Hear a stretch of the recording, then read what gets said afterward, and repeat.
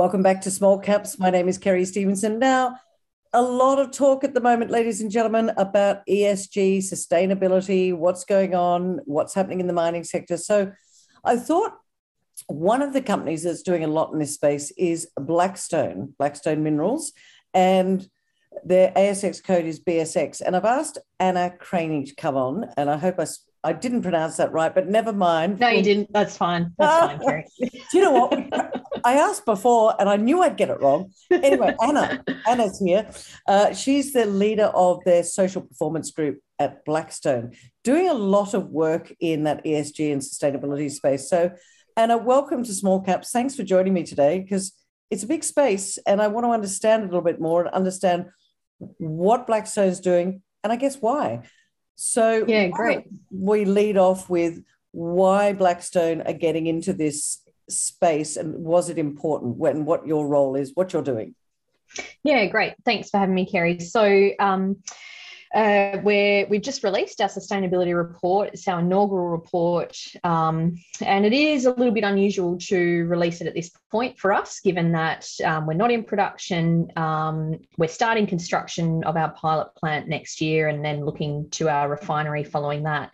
Um, but we felt that um, our product and our story um, is really um, centered around um, good governance, good social performance, and environmental compliance. And so we need to start from a base, even before all of that um, production and uh, construction has started, um, and share our ESG position, our story, and what the priorities are. So really that's the intent of, of this report um, to make that clear to our shareholders and also to our employees because they need to own that story as much as our our shareholders who are concerned about those issues too.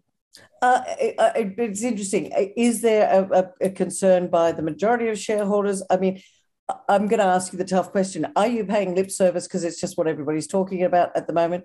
Or do you feel that this is a really important part of any mining company going forward? Yeah, so I think um, any mining company, in fact, any company needs to be thinking about what their contributions are to the communities that they're operating in, as well as um, the impact that they're having on the environment. Um, we see that now just in the responses and the questions we get from our shareholders, the expectations that they have and the literacy level they have around good environmental performance? What does um, working in your community um, look like when it's done well? And what it, what are the what's the community raising in terms of issues or concerns or questions? So they will be they'll ask very pointed questions around that, and it's part of my job. The, the part of my job I love the most um, is being challenged on those things because um, you know the Blackstone story. Not sure if your viewers are aware of it, but it was um, previously a nickel mine that was mothballed for some time and then um, purchased by the Blackstone team in 2019. Right. Um, we've we've been operating in that community then that the mine has been operating in that community for some time in northwest Vietnam. Um, and with that comes expectations um, from the community around what we will deliver and and um, the legacy that they expect us to leave.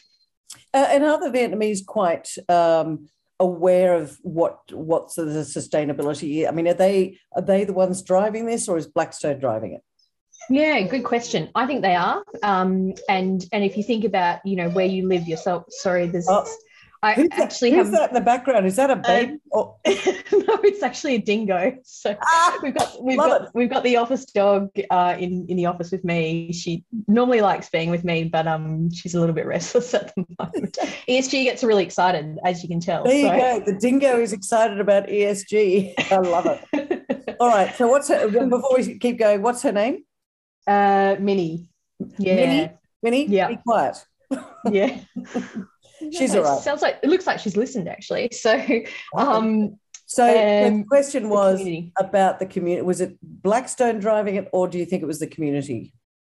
Yeah. So, um, you know, I've been really impressed by um, how well the community can advocate for themselves, and and if you think if you take yourself and and your own expectations around any major development that might be occurring close to your home, you take an active interest. True. You try and advocate as much as possible uh, and make sure that your rights are being heard and, and that you will have opportunities. Um, you may have opportunities around that development or that project.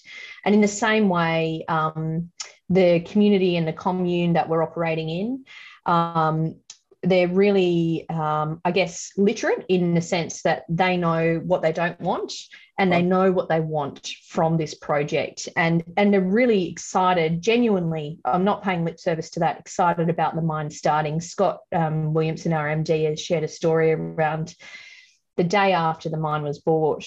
Um, there were workers arriving at the gate who had previously been engaged on the previous past project, they turned up in their PPE and were ready to start work. Wow. Um, so, you know, that speaks to the legacy that was left and, and I guess the expectations of that community in terms of um, employment, career pathways, and the economic opportunities that we can provide. But similarly, um, you know, they're very clear on the fact that um, they don't want pollution in their waterways. Um, they want to, um, you know, have minimal noise just disturbances and disruption, um, and um, that that it's going to be a safe working environment for everyone that clocks in and out um, at the front gate. And those are all part of what you're doing to ensure that that all, all gets delivered. That all falls under that ESG banner, does it? Yeah, but but you know, really for ESG to be effective, it shouldn't be someone just like me. It needs to be the whole team that owns it. And very passionate about that. I I should be able to just step to the side, and I am stepping to the side. I'm going on maternity leave in a couple of months. Um, so you you know the health of of um, good ESG in a mining company is when um, people can um, share responsibilities as much as possible um, and and make sure that it's owned by the different functions, whether that be the engineers, the geologists, procurement team, um, finance, HR. They all need to have a hand in ESG for it to be meaningful. Otherwise, it is, as you say, just lip service. It's, it's three service. three word three letters. Yeah. Um, Anna, why do you think? Uh, because it, it, appears to me, and correct me if I'm, I'm wrong, it appears to me that the ESG um, I guess values, whatever you want to put it, that, that, that those three letters, as you say, have suddenly become part of everyone's vocab just in the recent, probably 12 months or so. Why now do you think mm. it's become so important and is becoming, I guess, more, making more people aware? Why now? Yeah, so I'd say um, there's there's really uh, there's a few drivers. Um, so the first is um, recent incidents um, that I don't need to go into, but but um, everyone's well aware of in Australia and overseas in terms of tailings and heritage protection. People have expectations now. They're they're far more. Um, they expect to be um, far more informed about the way that a mining company might operate in a community. Um, and so bundled up, you know, ESG is a is a good way of bundling up some of those expectations uh, in terms of permitting, um, community relations, um, and safety around tailings.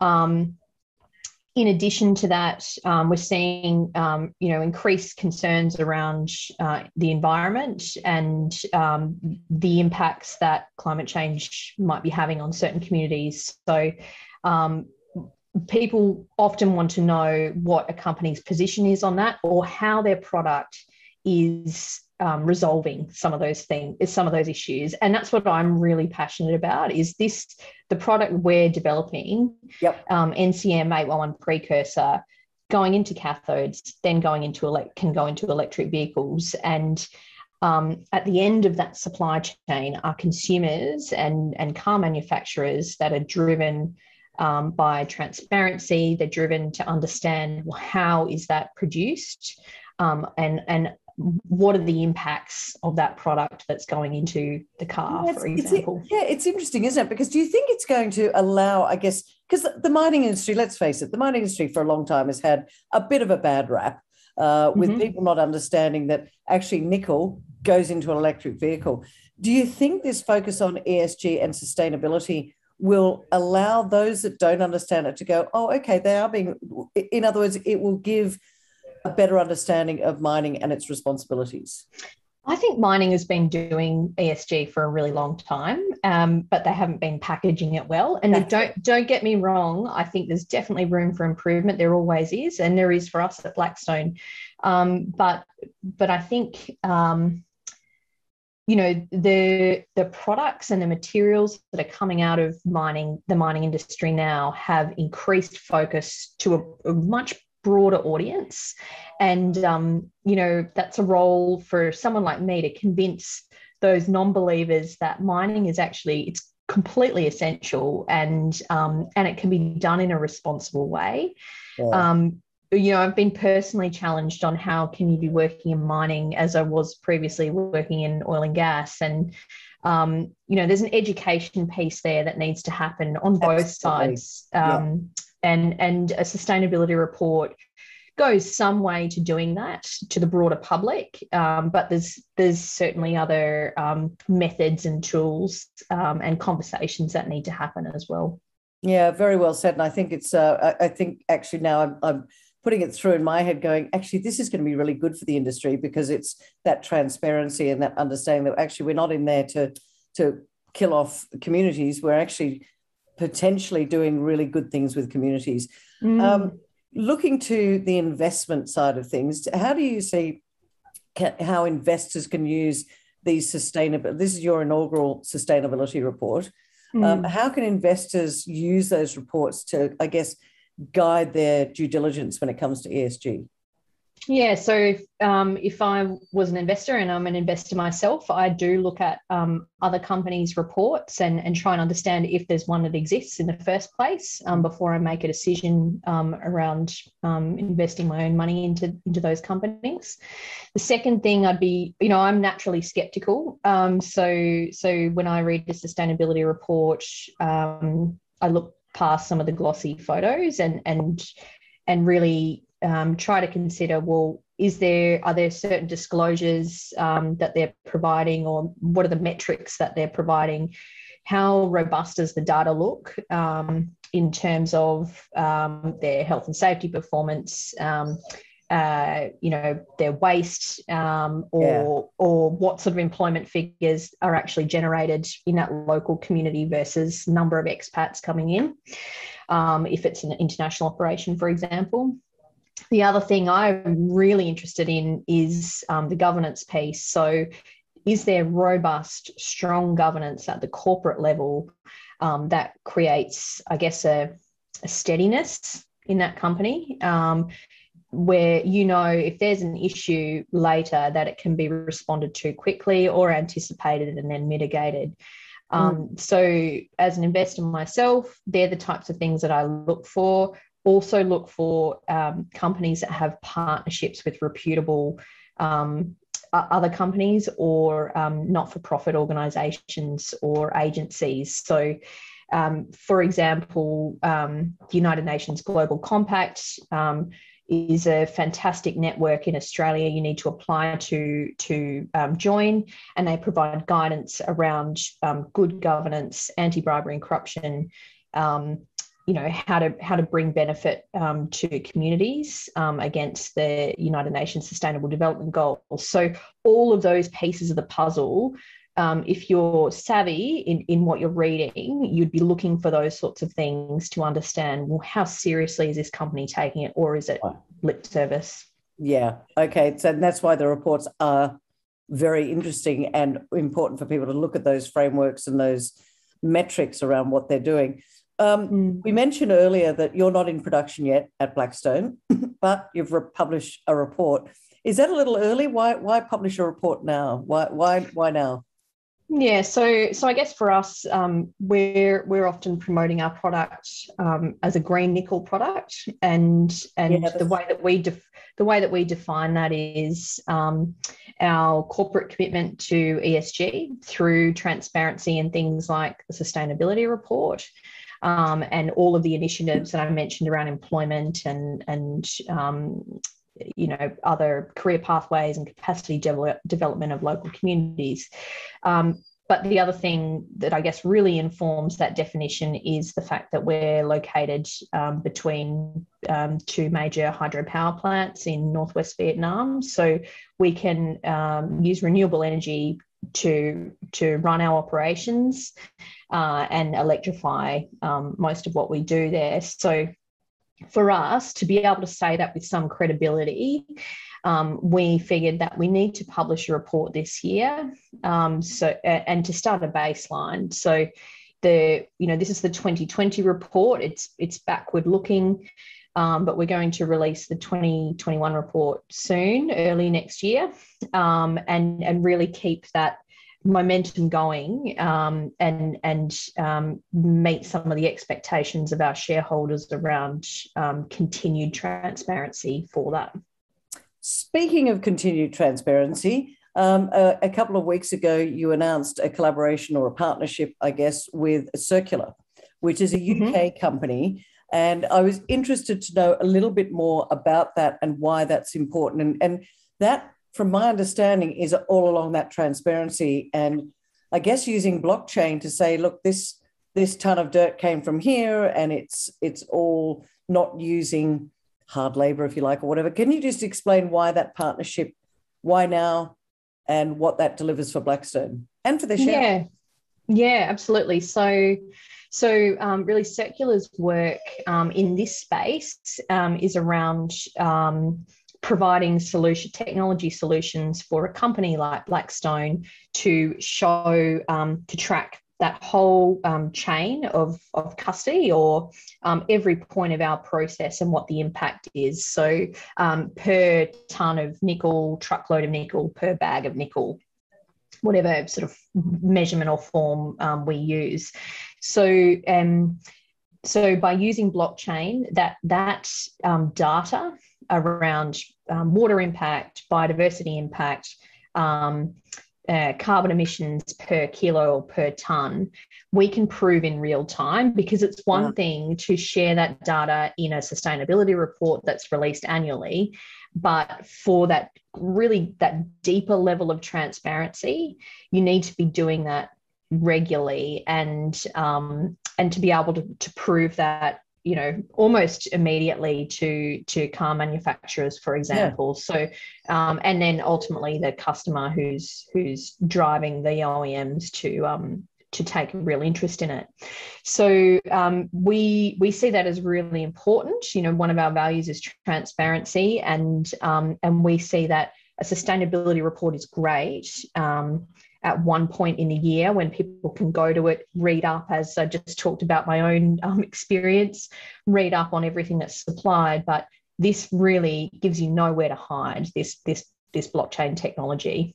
Yeah, and that's where te- and and you know I find the blo- whole blockchain technology it is fascinating, and it's I guess it's going to out those that are not doing the right thing and bring to the forefront those that are doing the right thing. As a result, I guess Blackstone, like the car manufacturers, will be looking for companies like you that are using this sort of technology because they can tick the box and say, hey, listen, it's it's well positioned this particular company and here we can track it from right from the start. Yeah so that's right. We you know there's an element of we're not in production yet but we're anticipating this to be us. So so we've um, you know joined with Circulor in this partnership because we know that it's coming. We see that it's coming. Um, uh, Tesla, Volkswagen, they're they're really clear on where um, where their expectations are for mines and and um, raw materials globally, and that is around. Um, uh, doing good due diligence on their supply chain and making sure that um, the levels of environmental compliance are reached or, or exceeded, and um, that workers aren't being subjected to forced labour and um, what we would term now modern slavery. So um, we're just trying to get ahead of the curve, basically, and, and anticipate um, and and be able to produce um, this snapshot of this um, NCM precursor straight away as soon as we're asked. So, yeah. Anna, do you, do you think, do you see Blackstone leading the way in terms of some of this using the technology and being this transparent? Are you guys leading the way? I'd say we are. For a company of our size, we are. Um, and look, we're going to learn things along the way and make mistakes, no doubt about it. Um, no one's squeaky clean. Um, we, you know, we know that there's things that we need to address, and those things are highlighted in our sustainability report. We want to be as transparent as possible with our shareholders to say these are what we know to be the risks, um, and and these are importantly these are what we've committed to address them. So um, you know, th- there are other companies that I really admire and respect that are doing similar work. Um, but for a for an emerging company like ours, I'm really proud to um, be working with our team and and um, developing some of these projects and programs. Well, as you said earlier, it comes from the top as well. So, um, you know, I guess, you know, we have to acknowledge the fact that Scott Williamson actually was the one that started to drive this and said, this is the way we're going to be. We're going to be a green mining company and we're going to start to use renewables. So, congratulations on that. We're running out of time, Anna. It's been absolutely delightful. Now, first of all, before I get into my sign off, which is the three reasons, um, where can people find this sustainability report? Is it on your website or do they need to send an email yeah. to find it? No, on our website, um, and um, they can also see it on the ASX announcement too. Okay, brilliant. Yep. Now, I want to know three. Re- we've talked all about ESG. We've talked about sustainability. Uh, it's an investor audience. Why do you give me three reasons, or give us, I should say, three reasons why you think this is important to, uh, I guess, Blackstone investors and, and shareholders right now? Yep. So first one's Black, Blackstone. We want to lead the way in ESG innovation and and um, and good business. Um, and this is the first step on that journey. Um, I'd say uh, second one is you can't run from these expectations. This level of transparency is coming for every company. Um, and the scale and speed of that, you, you just have to look at um, at, at where um, the, the, amount of capital that's now available for ESG compliant um, projects and companies. Yep. And and I guess the third one is that we know we're going to be creating a premium product and and with that you know a premium green product and with that we know um, will come premium price. So uh, um, music to the shareholders ears premium price. Um, well that's and that's and that's a good thing. So um, there, there you go ladies and gentlemen. Three reasons why the esg sustainability report from blackstone minerals which was um, published this week is important. Go and check it out on their website. Um, Minnie, wherever you are, thank you for behaving slightly. A little bit of a whinge there in the background, but I think it's because she got excited about ESG. Uh, yeah, uh, she's, Anna, she's calm now. Yeah, it's fine. I, thought, I thought it would be quiet. Yeah. Uh, Anna, thank you so much for joining us today. We wish you all the best, not only for your leadership in the ESG, but also for your upcoming birth of your little one. Thank you. Thanks very much. Two months to go. So, two months more of um, pregnancy brain at Blackstone, I think. So, hopefully, the team is patient with me. Well, well done and congratulations. And we Thank look you. forward to more news out of Blackstone in the near future. Cheers, Anna. Thanks, Kerry.